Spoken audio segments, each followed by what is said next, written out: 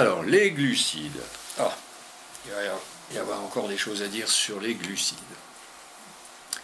Alors, aliments énergétiques directs ou de réserve. Alors ça, on vous le répète tout le temps, parce que ça va donner du glucose et que notre organisme consomme surtout du glucose.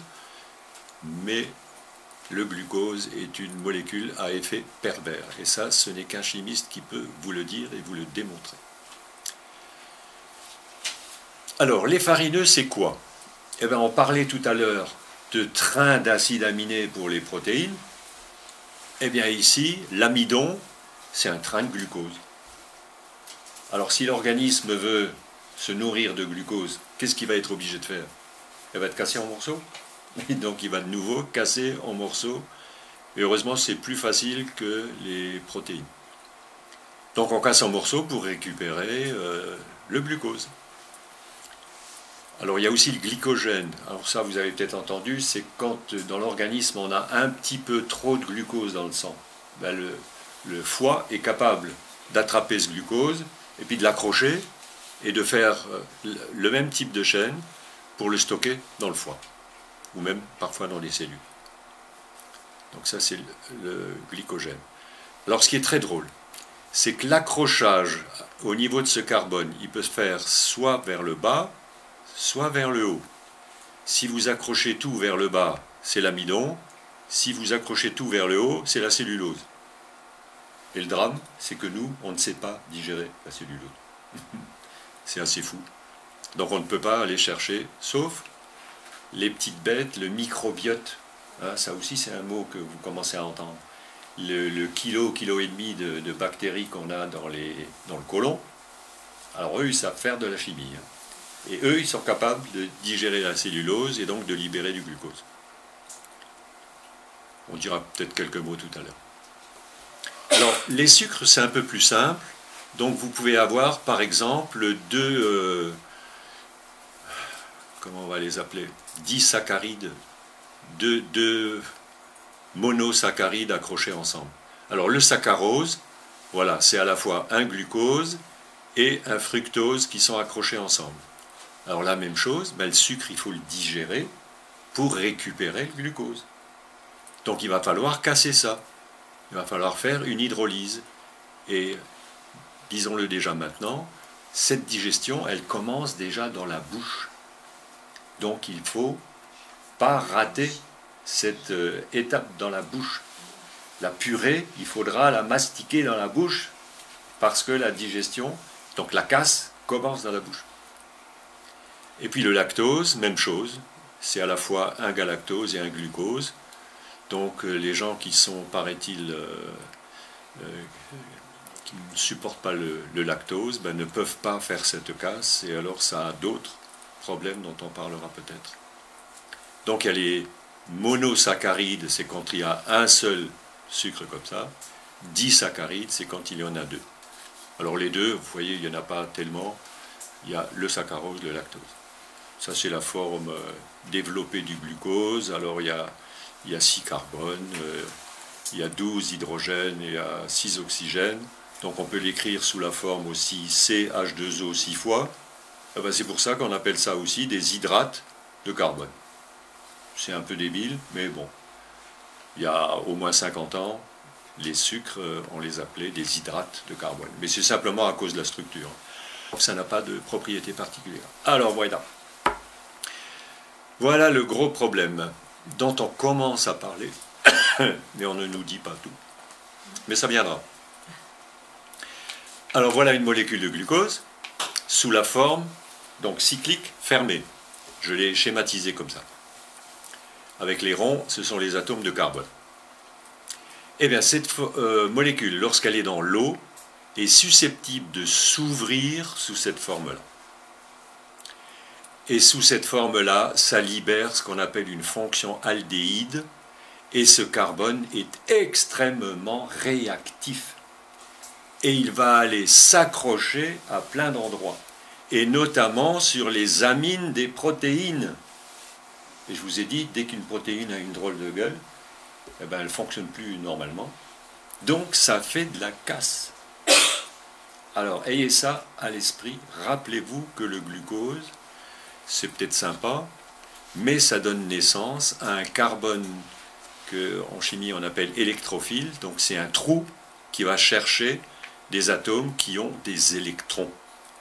Et alors notamment, euh, une des molécules euh, qu'on a en nous, c'est l'hémoglobine, et on dose actuellement les hémoglobines glyquées.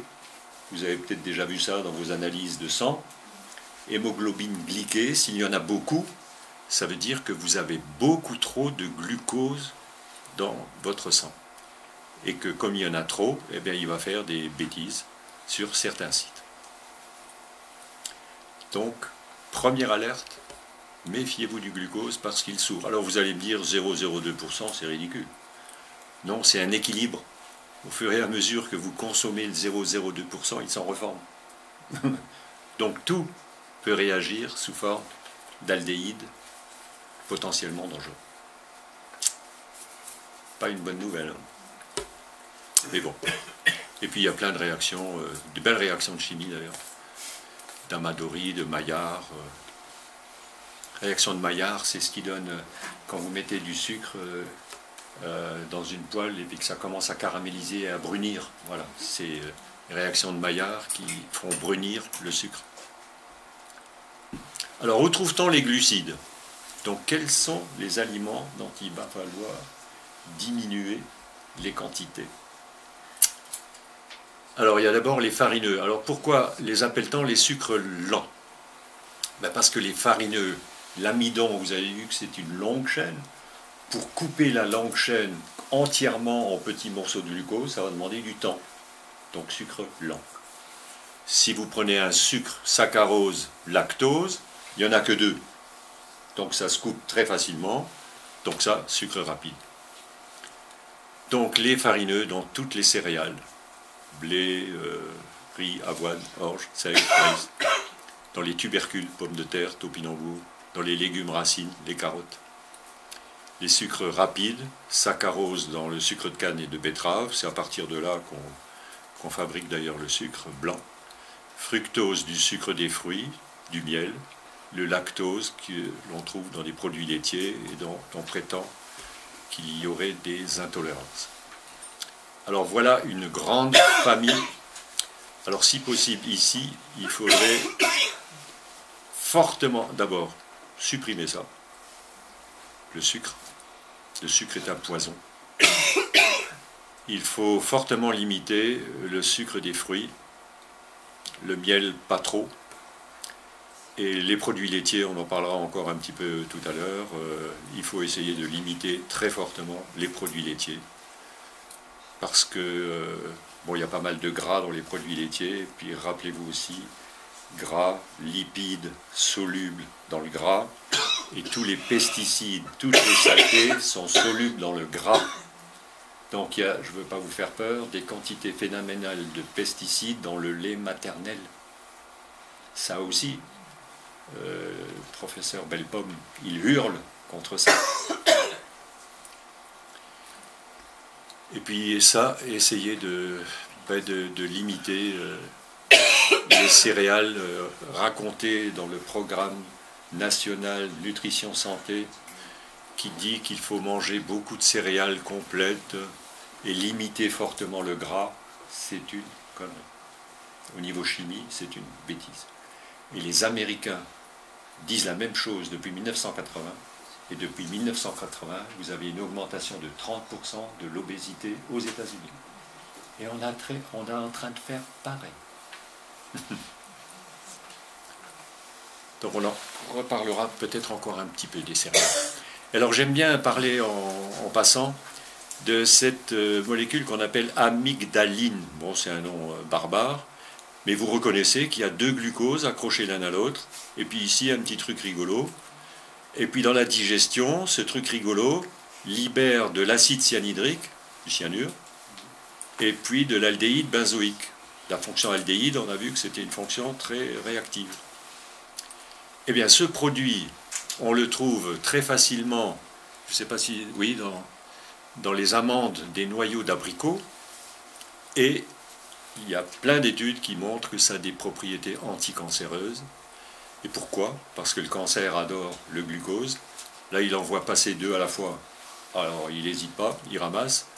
Stratégie euh, cheval de Troie, ça, ça rentre avec. Et puis ça libère du cyanure. Et ça démolit la molécule cancéreuse. La cellule cancéreuse. Alors sachez, je le dis entre nous, que je fais de, la prévention et que je mange régulièrement des, amandes de noyaux d'abricot. On trouve ça sur Internet. Pas plus de deux par jour, hein, parce que c'est quand même du cyanure.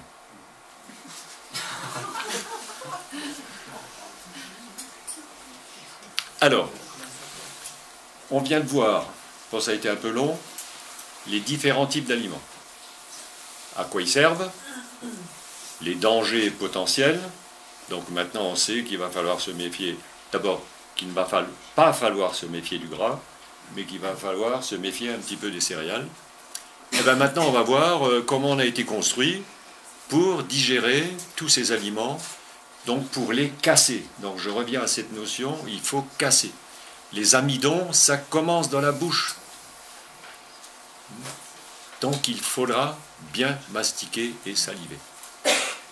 Et puis ensuite, il y a l'estomac. Bon, on verra que là, c'est surtout euh, les protéines, donc la viande, euh, fromage, euh, poisson, qui est digéré, cassé dans l'estomac, parce qu'il y a beaucoup d'acide, un pH de l'ordre de 1, donc c'est énorme. Et vous savez les problèmes lorsque on a ce sphincter qui, avec l'âge, ne joue plus très bien son rôle. Quand on se couche, on peut avoir des remontées acides. Bon, vous connaissez un peu ces, problèmes. Quand on sort de euh, l'estomac, on va dans l'intestin grêle, qui est très long. J'ai oublié de rechercher la, surface interne. Ça représente, je crois, au moins un terrain de foot, ou si ce n'est plus. Enfin bref. Donc c'est pas par hasard qu'on en a un très long. Et puis ensuite, ça arrive dans le côlon, où il y a ces fameuses bactéries, euh, et puis qui sont très utiles.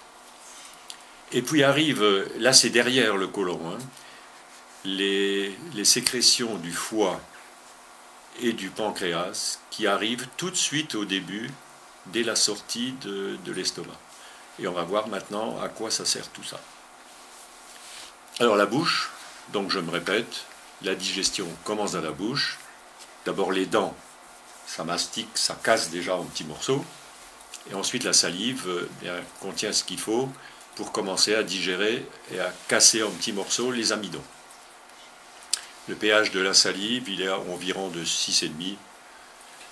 S'il augmente, euh, s'il passe au-dessus de 7, c'est pas, pas très bien. L'estomac. Alors, sécrétion d'acide chlorhydrique, pH 1, et de plusieurs enzymes, donc la pepsine qui hydrolyse les protéines. Donc c'est vraiment l'organe roi qui, à cause de la structure très solide des protéines, est obligé ben, de, prendre de l'acide chlorhydrique. Euh, comme on ne peut pas prendre de soude, eh bien, on le fait avec de l'acide chlorhydrique. Il y a la rénine. Ah, on n'en parle jamais. On parle toujours de, des intolérances au lactose, mais on ne parle pas de la rénine. Et là, de nouveau, je fais le malin parce que j'ai souffert de, problèmes de lait. Quand l'enfant naît et qu'il est euh, alimenté par sa maman, eh bien la rénine qui se trouve dans son estomac coagule le lait. Bon, avec le lait de vache, il le fait aussi d'ailleurs, s'il a encore de la rénine. D'ailleurs, quand un bébé vomit, vous avez souvent remarqué que c'est du lait caillé.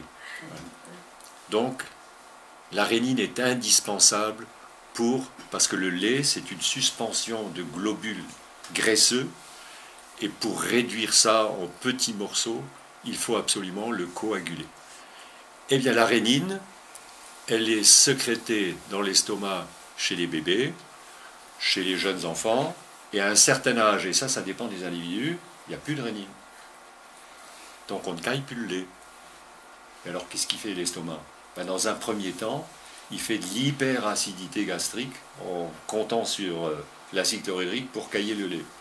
Ça, ça marche à un moment, et puis après vous faites une gastrite, et puis si vous ne traitez toujours pas, ben, vous ferez un cancer d'estomac.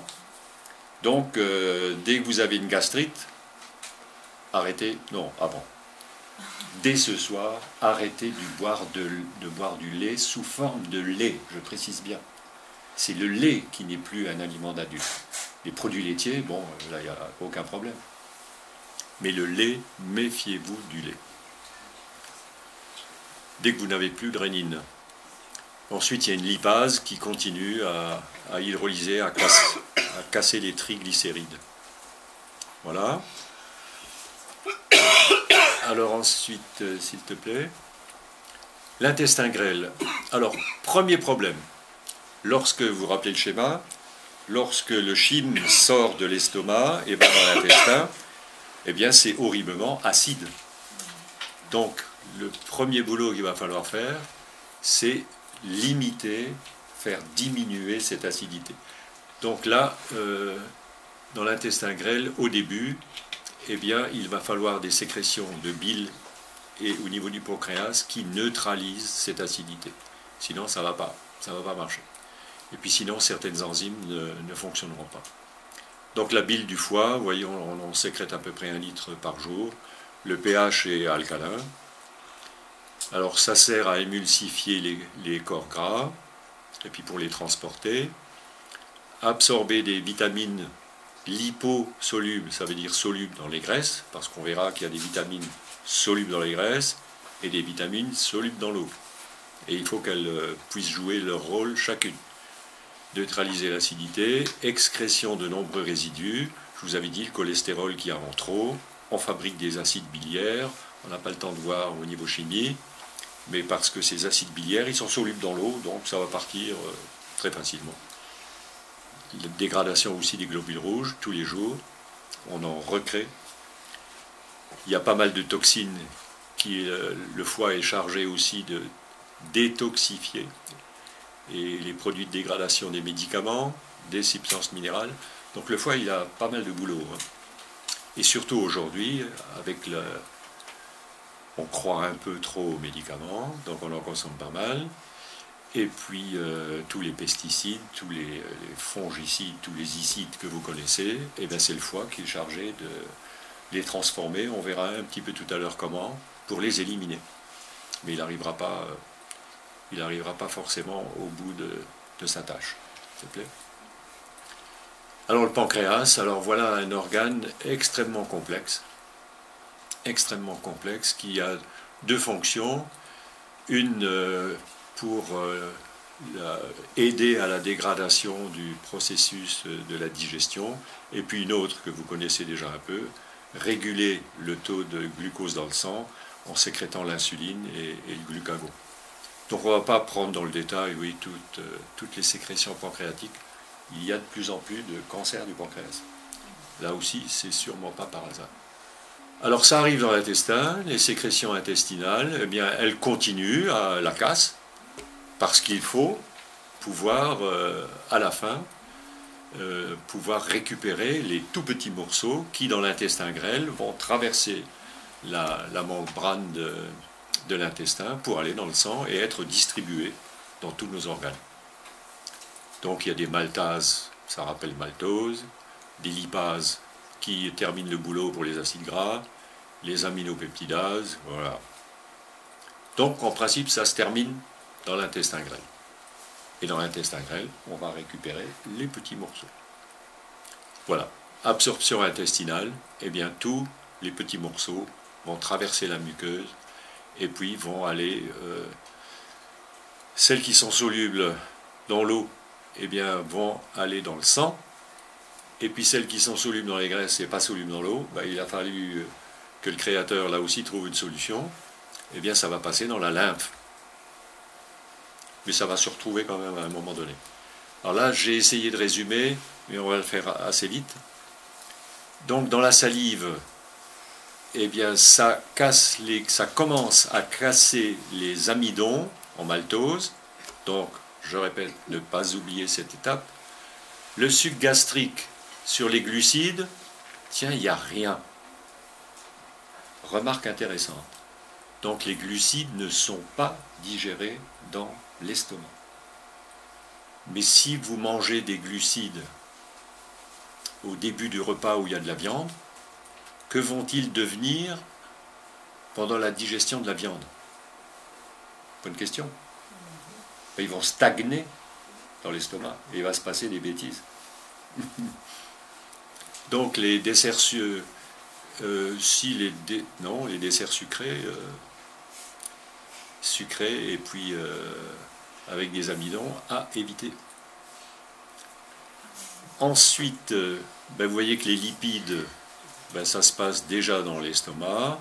Et puis les protéines, évidemment, surtout dans l'estomac, puisque c'est là que la casse la plus facile euh, a lieu. Le sucre pancréatique, ben, il continue pour les glucides, il continue pour les lipides, il continue pour les protéines. Le sucre intestinal, il termine le boulot, et à la fin, vous voyez qu'on a tous les petits morceaux. Glucose, glucose fructose, glucose galactose, glycérol et puis les acides gras, et ici les acides aminés. Voilà, quand tout va bien, eh ben c'est comme ça que ça marche. Et c'est ensuite euh, assimilé par, euh, par les intestins, ça passe dans le sang, véhiculé dans les cellules, et puis c'est donc... Euh, alors retenez ça, hein. pas de dessert sucré. Parce que le sucre, dans pH 1 dans l'estomac, alors il y a une école qui dit, et en tant que chimiste je crois assez, vous avez ces sucres qui fermentent. Alors, les enfants qui boivent que des jus de fruits à table, grosse erreur. Pour du Coca-Cola, c'est grosse erreur aussi. À, à table, on boit de l'eau. Et les adultes, un peu de vin. On en reparlera. pardon, le fruit, euh, pardon les fruits, pardon, le sucre du fruit, on peut à la fin du, du repas? Bah, tout ce qui est sucré euh, a un fort risque de fermentation. Alors certains disent ça ne peut pas fermenter parce qu'il n'y a pas de bactéries dans l'estomac. Dans ben, je suis désolé, mais il y a quand même des bactéries. Il y a le hélico, hélicobacter, pylori. Donc il y en a quelques-unes. Et puis il y a d'autres petites choses dans l'estomac qu'a trouvé le euh, professeur Béchamp, contemporain de Pasteur, dont il faut surtout pas parler non plus. Et j'ai créé une association qui essaye de faire connaître euh, notamment les travaux de Béchamp, qui sont complètement occultés et qui remettent en cause plein, plein, plein de choses. Je suis à la retraite, je peux le dire.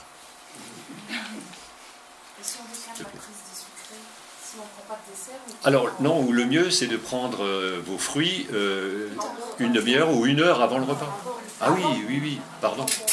Oui, oui, parce qu'il va passer dans un estomac vide, et donc il va passer tout de suite euh, à l'étape suivante. Ah oui, pardon, j'ai oublié de vous dire ça. Donc si vous aimez le sucré, si vous n'arrivez pas à vous en passer, vous le prenez une heure avant le repas où il y a de la viande, où il y a des protéines.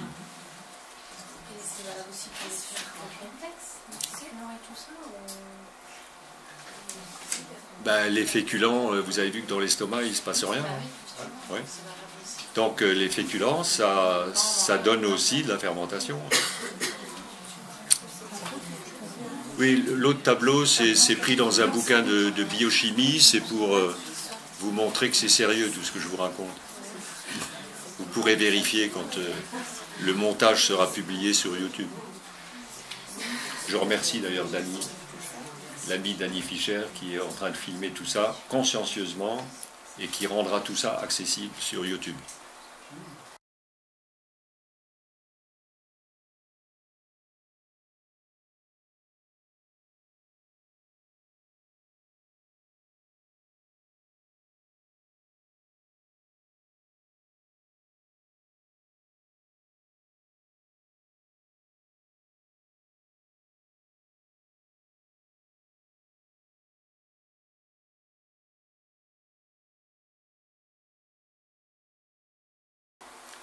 La suivante, s'il te plaît. Alors, en résumé, les glucides, donc ces trains de glucose, sont absorbés sous forme de sucre simple, glucose, fructose, mannose, galactose. L'excédent de glucose est stocké dans le foie, je vous avais dit, sous forme de glycogène. Il refait un train de glucose, mais qu'il arrive à récupérer glucose dès qu'il en a besoin. Les lipides, donc c'est euh, transporté par le système lymphatique. Et puis, donc, les, bon, ça c'est des, des détails, les acides gras de moins 12 carbone sont libres, les autres sont estérifiés en triglycérides, parce que plus facile à transporter. Et les protéines, eh bien, donnent des acides aminés individuels qui sont absorbés directement. Donc voilà le bilan de fonctionnement de notre système digestif. Nous avons été construits pour fonctionner comme ça. Si vous vous ingéniez à vouloir fonctionner autrement, ben, forcément vous aurez des problèmes. Et là, j'ai plus rien, hein. s'il te plaît. Alors, reste le côlon.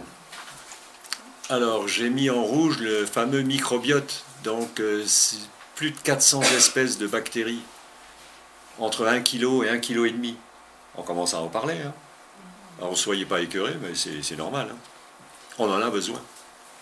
Et puis, il se trouve que intestin euh, et, et sont entourés par un système de neurones extrêmement important. Et on parle maintenant d'un deuxième cerveau ici, relié au premier. Donc les petites bêtes, à mon avis, elles doivent euh, signaler un certain nombre de choses. Alors, maths, non, c'est pas ma théorie, mais j'ai pas mal bossé les, justement les, le boulot des euh, bactéries depuis qu'elles sont apparues sur Terre. Elles sont apparues il y a 3 milliards et demi d'années. C'est elles qui ont commencé à construire des unités de plus en plus complexes en, disant simplement, par exemple, je parlais des... Ah, je commence à fatiguer. Dans les cellules, les centrales énergétiques... Mitochondries. Merci. Les mitochondries, autrefois, c'était des bactéries à part, qui vivaient seules et qui s'étaient euh, spécialisées dans la fabrication d'énergie en dégradant des, euh, des molécules, notamment d'acétate. Et puis un jour, euh, une bactérie qui savait faire un autre type de travail lui a demandé bah, Tu veux pas bosser avec moi? On va faire un organisme à trois cellules, par exemple. Toi, tu fais l'énergie, moi, je fais ça, lui fait ça. Et c'est, paraît-il, il y a toute une école américaine qui a publié un bouquin que je vous conseille qui s'appelle L'univers bactériel et qui explique justement l'évolution des bactéries depuis 3 milliards et demi d'années. Alors ce qu'il faut se dire, enfin c'est ce que moi je me dis, ces bactéries ont fait de la chimie. En 3 milliards d'années, vous avez le temps d'expérimenter et d'utiliser des réactions qui marchent et qui peuvent être complexes. Donc à mon avis, ce sont les bactéries qui ont construit les, les, les, organismes les plus complexes, dont nous. Et à mon avis, nous vivons chez les bactéries, parce qu'il y en a plein partout. Dans l'humus, quantité phénoménale. Dans le phytoplancton qu'il y a sur les océans, quantité phénoménale. Toutes ces bactéries, c'est ce qu'a montré ce bouquin, elles communiquent entre elles. Et puis elles s'occupent de contrôler la température du globe terrestre pour qu'elle ne soit pas, que leur survie ne soit pas mise en cause. Et elles jouent ensuite sur des fermentations, donc sur l'effet de serre. C'est génial. Et elles contrôlent aussi la quantité d'oxygène dans l'atmosphère. Et ça ne doit pas dépasser 20%. Parce que comme c'est toxique, si ça dépassait 20%, eh ben on, serait, on serait mal. Eh ben, ce sont des petites bêtes qui contrôlent ça. Pas mal, hein? Et les petites bêtes, il y en a plein là. Et on commence à étudier ce qu'elles fabriquent et ce qu'elles font pour nous. En tous les cas, au niveau digestif, on sait qu'elles sont capables de digérer notamment la cellulose, de, décarboxyler les acides aminés, d'élaborer certaines vitamines, d'assimiler certains minéraux, et puis de, de, créer des minéraux, alors ça sur la pointe des pieds aussi, par des transmutations. Alors ça, quand vous dites ça à un scientifique qui tombe de sa chaise, il dit transmutation, non. On peut en faire, oui, dans les synchrotrons, il faut des énergies phénoménales. Non, il y a un chercheur que je défends aussi dans mon association, Kerbrand, qui a montré que des, euh, des, petites bêtes étaient capables de faire des transmutations. Donc avec du sodium, de faire du potassium. Euh, Et en plus, il a publié un livre avec euh, des expériences pour mettre en évidence ces choses-là. Croyez qu'on en parle? Non, il faut surtout pas en parler. Donc là, il y a encore du boulot pour des chercheurs, hein, mais qui osent prendre des risques.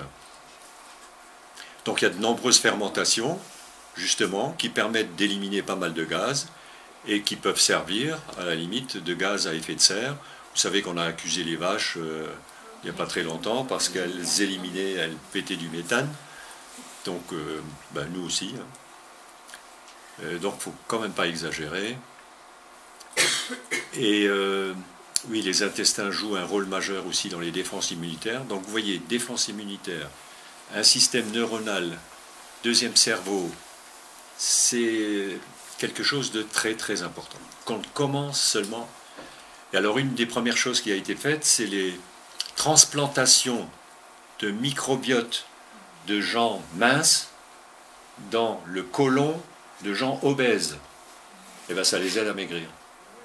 C'est extraordinaire.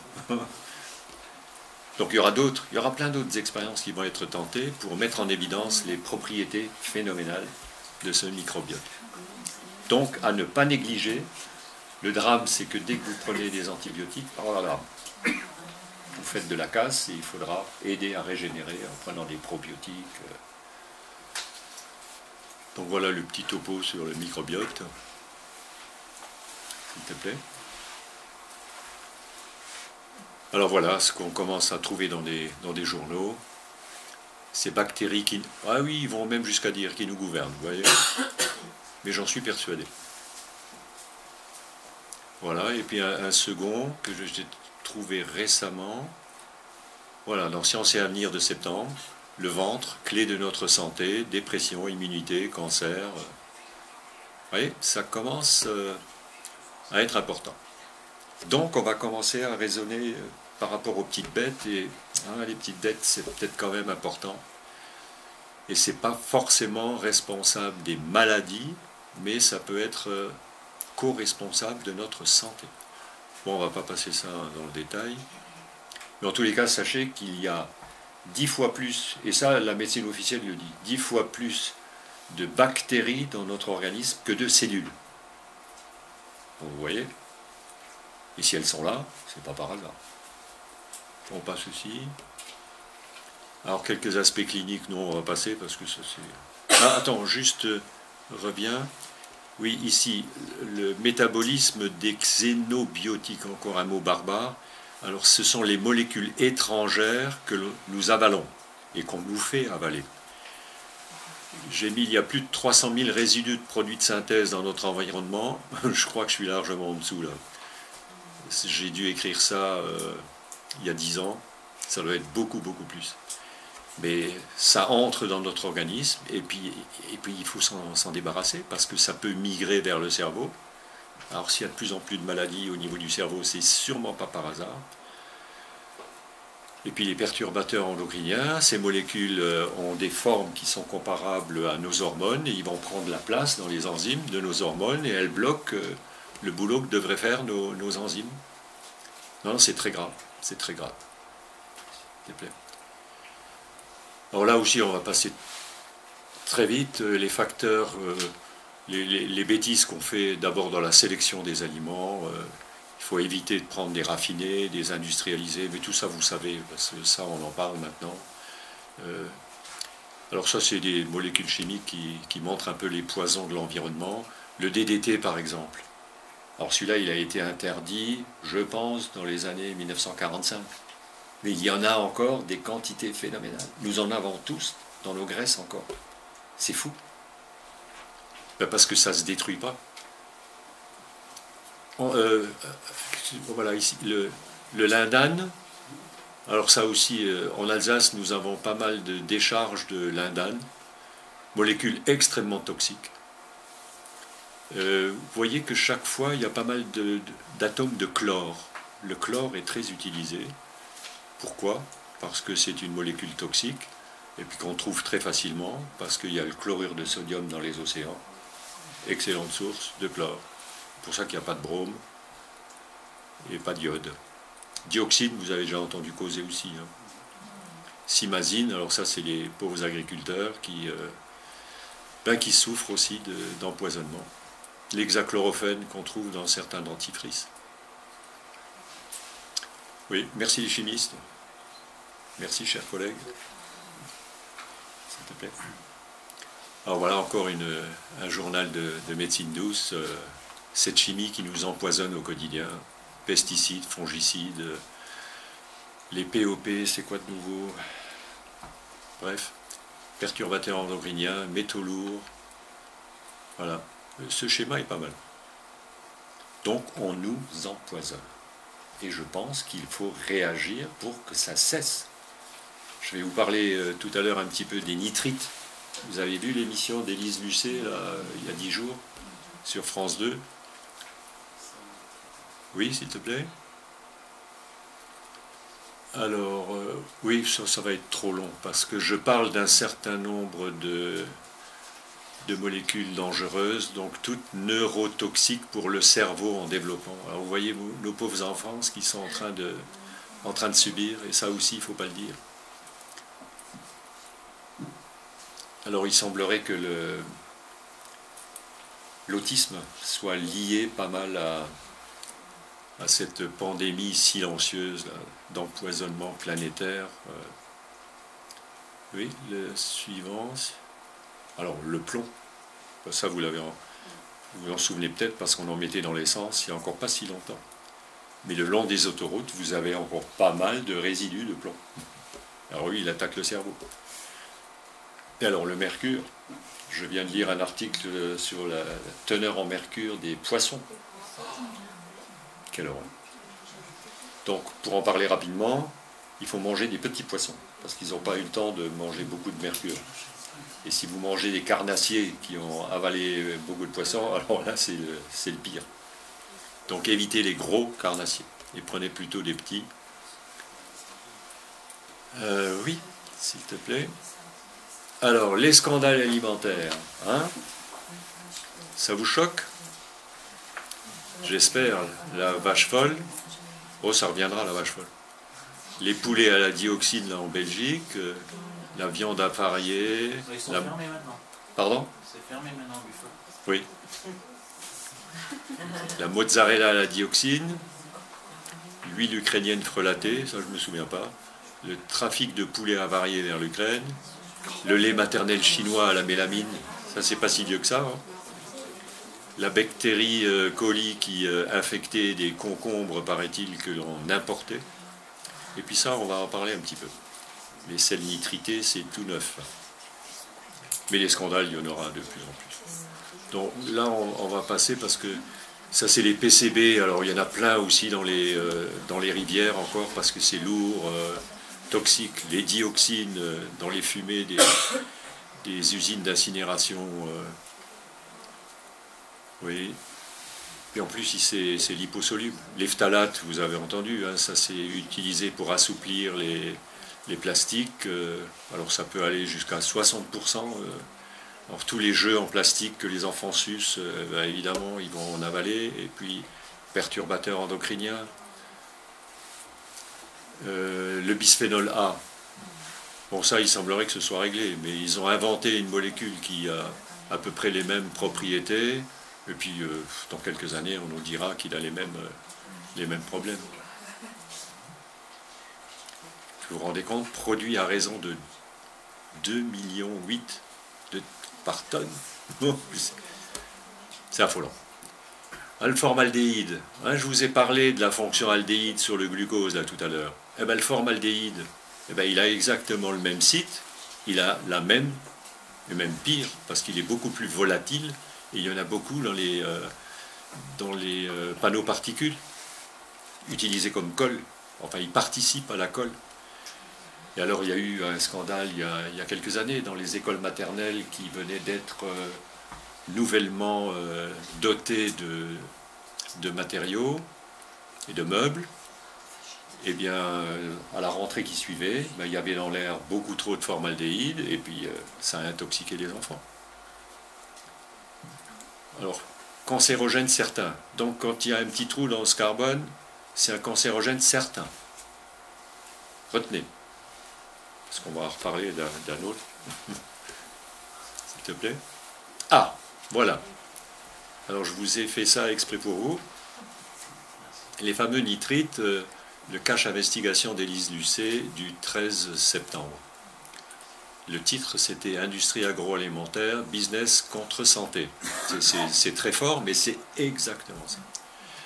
Alors le nitrite de sodium qu'on met dans la viande pour qu'elle garde la belle couleur rouge, et puis surtout dans la charcuterie, eh bien ce nitrite, lorsqu'il se trouve en présence d'eau en milieu acide, tiens, c'est ce qu'on a dans l'estomac, ah. eh bien il se transforme en acide nitreux, qui se déshydrate, et il donne cette horreur qui porte un nom barbare, un ion nitrosonium. Il y a un trou, comme dans le formaldéhyde, comme euh, dans le glucose de tout à l'heure. Et donc ça, ça attire forcément tous les endroits où il y a plein d'électrons disponibles. Bon, on va pas faire de la chimie, mais les atomes d'azote, les amines des protéines, il y a des protéines qui ont aussi du soufre, il y a des atomes d'oxygène qui sont libres, tout ça, ça va aller se coller là-dessus, donc ça va modifier la forme, notamment des amines, des, protéines, et ça va donc forcément perturber le fonctionnement de ces protéines. Mais ce qui est encore pire, lorsque le groupe R qui est accroché euh, donc à une amine accroche un nitrosonium, eh bien ça donne ça, un diazonium, qui perd de l'azote. Et qu'est-ce que ça donne? Un carbone avec un trou. Poison violent. Ah ça, ils ne le reconnaissent pas, hein, les, les gens qui utilisent les nitrites. Mais c'est un poison violent à température ordinaire. La chance qu'on a, et ça c'est utilisé depuis un bon moment, c'est quand on a une structure aromatique, c'est-à-dire un arène comme ça, sur une amine, ça donne euh, l'essence, on peut fabriquer des colorants, colorants azoïques. Il y en a eu beaucoup euh, fabriqués dans l'industrie. Mais ça, c'est pas, enfin, je pense pas que ce soit dangereux. Donc là, quand c'est aromatique à 0 degré, et puis j'ai fait faire des travaux pratiques aussi aux étudiants là-dessus, ça marche très bien ça. Mais quand c'est pas aromatique, poison. Donc, messieurs les agroalimentaires, euh, j'aimerais bien que vous reconnaissiez les travaux de chimie qui ont mis ça en évidence. Et ne pas trouver, alors qu'est-ce qu'elle avait dit Il trouve toujours des excuses. Et puis il sème le doute. Voilà, toute l'astuce, c'est de semer le doute. De dire, ah oui, c'est sans doute toxique. Oui, mais à quelle dose? Et puis euh, forcément pas à cet endroit. Et puis, il n'y a pas de doute. S'il te plaît. Oui, alors les nitrites. Alors ça, euh, c'est dans un livre allemand, de chimie allemand, qui montre les différentes façons dont, lorsque les protéines donnent la fameuse hélice, et pour euh, retenir ensemble ces brins d'hélice, voilà les différentes fonctions qui sont utilisées. Elles peuvent toutes réagir avec le nitrosonium. Donc les nitrites peuvent euh, semer la... Enfin bref, dans toutes les protéines. Non, c'est très grave. C'est très grave. Oui, là aussi, euh, méfiez-vous des hydrocarbures. là, on peut continuer assez vite parce que de l'encre dans nos assiettes. Alors il y a des listes d'additifs toxiques à avoir sur soi, parce que quand il y a le code, évidemment, euh, c'est difficile à, retenir.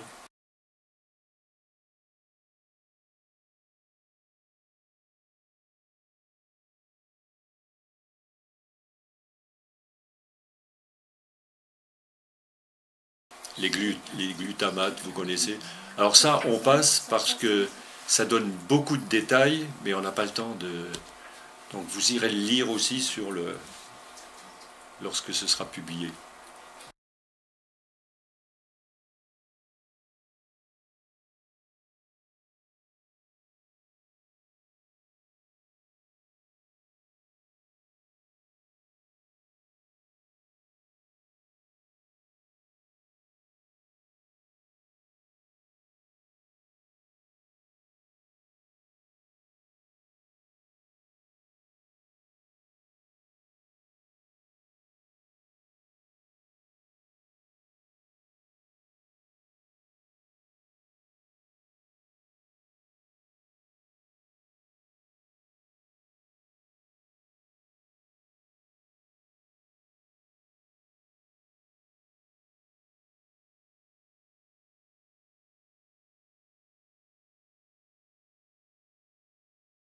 Alors juste en passant, l'aspartame. Hein, ils sont fiers de remplacer le sucre dans le coca par l'aspartame. N'importe quel étudiant de terminal C, non S aujourd'hui, eh bien, reconnaît ici un ester méthylique. Alors lui aussi, quand on le retrouve en milieu aqueux acide, dans l'estomac, eh bien, il s'hydrolyse et il libère du méthanol. Le méthanol, c'est un alcool toxique. Donc arrêtez de boire du Coca-Cola avec de l'aspartame. Et ah, puis arrêtez de boire du coca tout court d'ailleurs. Et quand il y avait du sucre, c'était horrible. Hein. Il y avait. Alors combien de grammes? J'ai pas retenu. 20 euh, grammes par litre Enfin, c'est horrible. Horrible.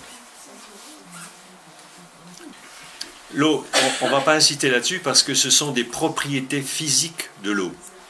Et alors c'est fou parce que la nature, les petites bactéries là, ont utilisé les propriétés de l'eau pour construire le vivant.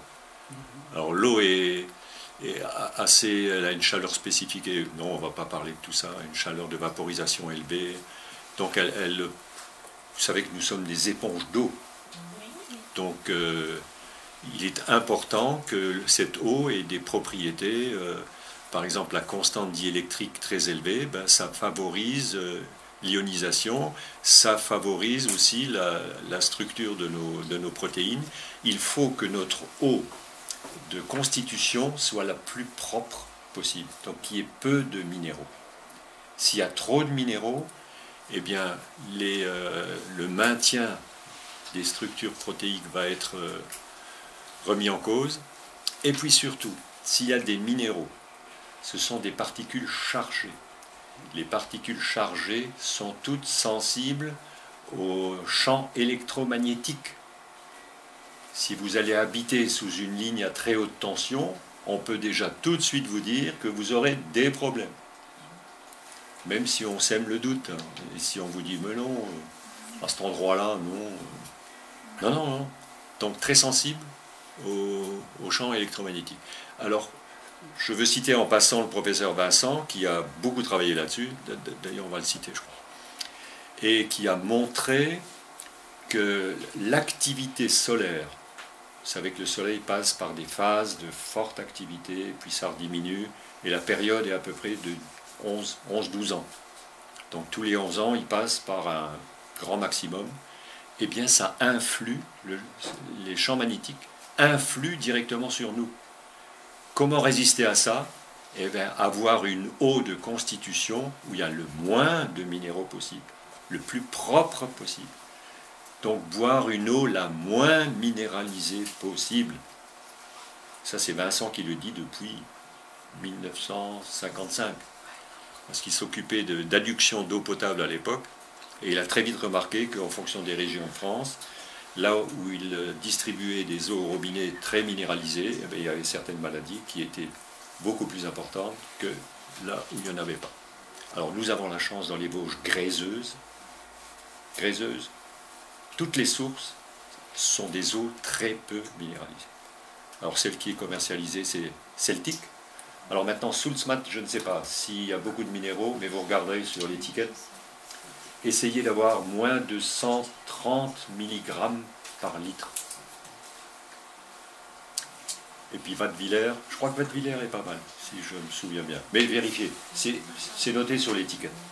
Donc prenez les moins minéralisés possibles.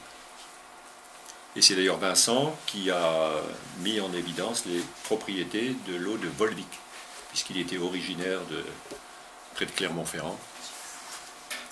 S'il te plaît. Donc, importance de l'eau. Oui, on va passer. Euh, donc, ce sont toutes les propriétés de l'eau. Vous retrouverez ça où vous savez. Et puis, alors, on représente souvent des cellules comme ça, avec un noyau qui, qui nage au milieu, les mitochondries qui nagent aussi. Alors, il semblerait, d'après des chercheurs, diapo suivante, que ça nage pas vraiment, mais qu'il y a plein de, de trucs qui canalisent les échanges et c'est assez rigolo. Bon, donc vous prenez la représentation que vous voulez. Alors voilà Vincent, Louis-Claude Vincent qui a inventé la méthode bioélectronique sur laquelle j'ai beaucoup travaillé et que j'ai testé dans un service de cancer du sein à Strasbourg en 1977. Donc Vincent a, ben, participé à, ce congrès international sur l'importance euh, vitale de la qualité de l'eau et notamment sur les cancers. Donc ça, c'était une publication en 61. Alors regardez, il a, il a publié ça, il a pris deux genres de vie. Ça, c'est dans les Balkans, où euh, vie pastorale et traditionnelle, avec de l'eau de source, peu minéralisée. Mortalité générale, on a combien? 360.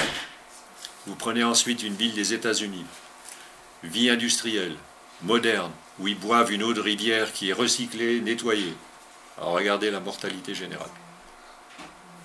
et ici, les systèmes cardiovasculaires et les cancers. Donc ça, ce n'est pas un exemple, il en a publié plein. Je vous dis, il, il s'occupait d'adduction d'eau potable, donc il a pu avoir accès à plein, plein d'observations. Alors ça, c'est avec sa méthode Vincent, donc il y a des paramètres où on peut mesurer la qualité d'une eau, et puis surtout, regarder la, résistivité, c'est-à-dire la charge minérale. Bien ici, c'est en milligrammes par litre. Vous voyez, Volvic 110, euh, Celtic 50. Alors les pires, c'est évidemment celles qui sont en Saint-Yor, Vichy, vous avez 5 grammes par litre. Alors il y a certaines écoles qui vous disent oui, mais il y a du calcium dedans. Alors comme source de calcium, c'est extraordinaire. oui, peut-être. Voilà. Alors à l'époque, oui, c'était en 70, pardon, 79 dans un journal. Euh, l'eau potable, le fait de mettre du chlore, eh ben, ça amène à plein, plein, plein de problèmes, puisqu'il a montré que ça cause du stress, ce qu'on appelle aujourd'hui du stress oxydant, et puis le chlore est un poison. Et puis donc plus récemment, dans Science et Vie de décembre 93, même chose, le chlore en accusation dans l'eau. Donc buvez du vin, c'est moins dangereux. Hein. Alors là aussi, l'eau Kangen. Je ne sais pas si vous avez déjà entendu causer de ça. On essaie de vous vendre un appareil qui coûte extrêmement cher et pour fabriquer une eau alcaline et réductrice. Et puis n'ont pas peur d'affirmer que cette eau à pH 9,5, elle a un pouvoir antioxydant 7 fois supérieur à la vitamine C.